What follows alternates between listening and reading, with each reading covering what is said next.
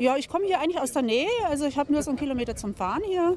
Und ich bin wirklich viel mit dem Fahrrad unterwegs, weil ich habe keinen Führerschein. Das heißt, wenn ich unter der Woche mobil sein will, so im Umkreis von 10 Kilometern, mache ich das mit dem Radl. Auch mit dem Einkauf, soweit es geht, soweit das Fahrrad das trägt. mhm. äh, dass es strapazierfähig ist. Es hält mein Gewicht aus und das Eingekaufte.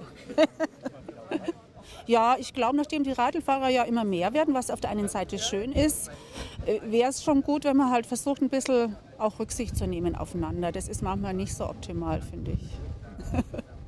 Also das ist ein kleiner Appell.